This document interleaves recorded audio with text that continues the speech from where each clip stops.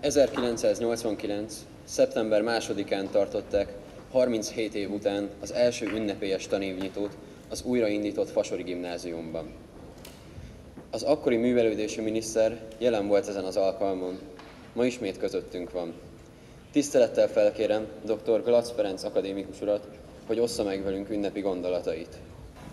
Tisztelt miniszter úr, püspök úr, kedves tanult barátaim, tanártársaim, mindenek előtt tisztelt iskola.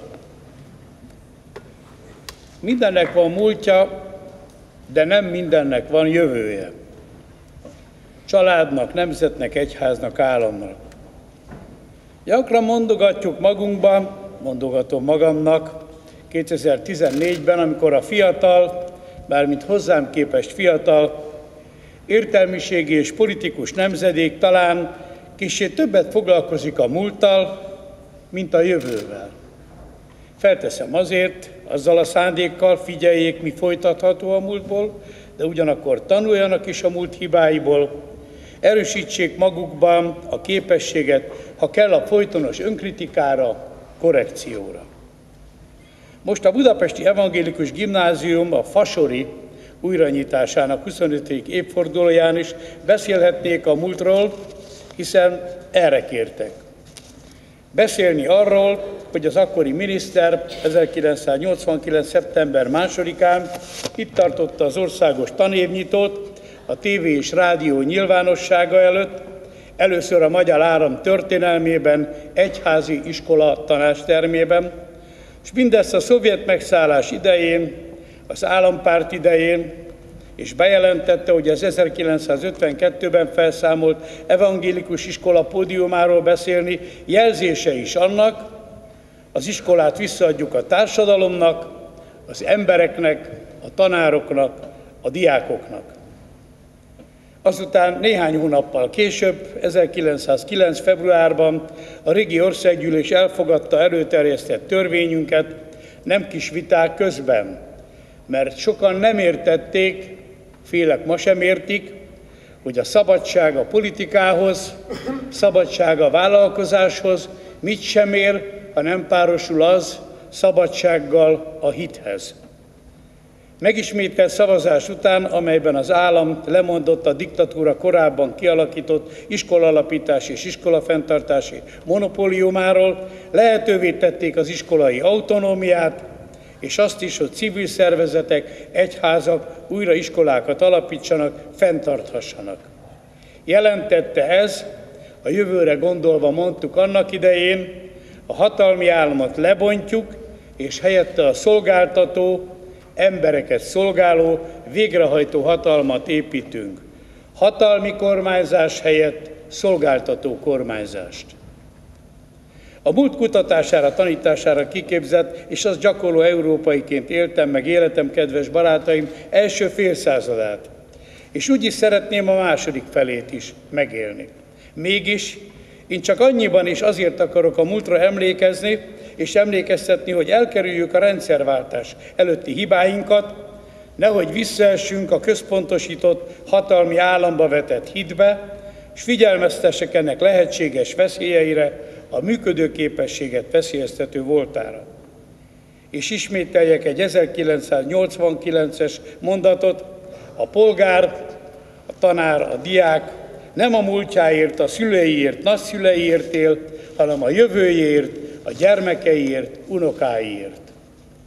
Szerintem, mint az Európai Unió több évtizedig megjárt ember, állíthatom, az európai kultúrának is nagy hátránya ez a múltba forduló magatartás, szemben a jövőorientált, dinamikus amerikai, ázsiai kultúrákkal, amelyek, és erre figyelnünk kellene talán, a jövő építésében minden a múltból felhasználható követ hasznosítják.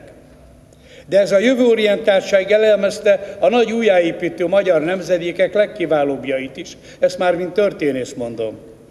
Akár a török megszállás utáni jövőnkre gondolkodókat, egy Zrinyit, egy Pázmányt, Rákócit, akár a 19. századi nemzet- és államépítés nagyjait, Kosutot, Széchenyi, Deákot, Andrásit, akár a Trianon 1920, akár a szovjet megszállás 1947 utáni jövőről gondolkodókat. Mi lesz a kis nemzeti kultúrák? Így a magyar kultúra jövője a 21. század planetáris világában. Milyen intézményrendszer, igazgatási, és ez igazgatási közül csak egyik az állam, milyen hitéleti, civil társadalmi intézményrendszerrel tudjuk a lokális társadalom és kultúra érdekeit, sajátosságait a világkultúra részeként megőrizni és világversenyképessé fejleszteni. Olyan korban, amikor minden kis tanteremben felnövő fiatalnak a nagy világversenyre kell készülnie, mert ez lesz az életközegük, az egyén, a család és a nemzet, nemzet megtartás szintere, tegyük hozzá a hitünk, világfelfogásunk megtartásának szintere is. Az internet, a tabletek, az iPhone-ok, az iPad-ek világában mi lesz nyelvünk és hitünk jövője? Én vissza-visszatérően akárhányszor egy csodálatos iskola falai között beszélhetek, beszéltem nem csak 89-ben, de a tizedik évfordulón 99-ben is, figyelmeztetek a luteránus hit öt évszázados alapelveinek világverseny képességére, a türelemre, a sokszínűség előnyeinek élvezetére és kihasználására, a migrációkat magával hozó 21. században, ma és holnap, az új népvándorlás korának, a következő évszázadnak Európájában egy zárójelbe függesztem hozzá, amely szellemben én is felnőttem, és amelyet próbára tehettem a világversenyképesség kifejlődésének első korában az elmúlt fél, fél évszázadban. No és figyelmeztet, figyelmeztetni kell a munkára nevelés kultuszára, amelyben én soha nem csalódtam.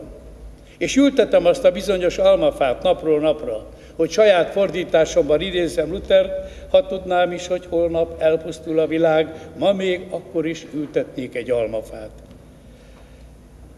Most nem beszélek a más keresztény és nem keresztény egyházak maradandó tanításairól, a magam élete során tapasztalt katolikus univerzalitásról, a zsidó vallás alaptanításairól.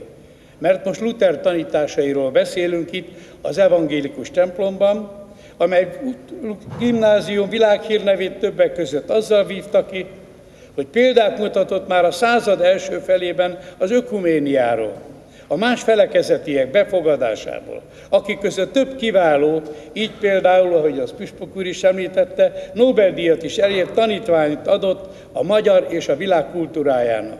Mi csodás! És a 21. század kihívásának mi megfelelő erkölcs és magatartás volt ez, a luteránusok részéről. Hiszen az iskola, ez az iskola mindig is ilyen volt, nem csak ismeretátadó, hanem erkölcsi nevelő, képességfejlesztő intézménye is a modern magyar társadalomnak. De tovább a kérdésekkel. Versenyképesnek lenni a világhálón és a szellemi világpiacon milyen iskolarendszer szükséges ehhez? Itt a Kárpát-medencében és konkrétan a kultúrnemzeti létét újra megélő magyarságnak. Az állam szabályozó és menedzselő szerepe mellett mennyire vegye számításba a társadalom, az egyének, a család önfejlesztő lendületét és kedvét.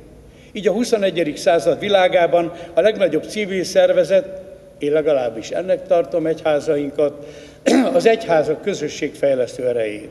Mert a 21. század oktatáspolitikája, tegyük hozzá társadalompolitikája, nem csak állami tisztviselők, igazgatási és párttisztviselők és pártmozgalmárok dolga, mondottuk 1989 májusában, hogy egy mondattal ismét beszéljek azért a múltról is, hanem dolga a tanárnak, a tiszteletesnek, a diáknak, sőt az iskolai autonómiák szülői közösségének.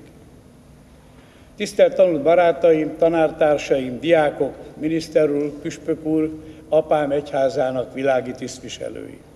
In hoc signo vinces, jelben győzni fogsz. A jelenre, jövőre programot adó jelmondatot idézve, Nagy Konstantinus 312 Krisztus után, köszönöm, hogy mint a 25 évvel ezelőtti, itt a polgári demokratikus kultúrpolitikai programot meghirdető tanárminiszter, majd a tizedik tanév megkezdésekor a lutari tanulókról beszélő történész akadémia elnök után.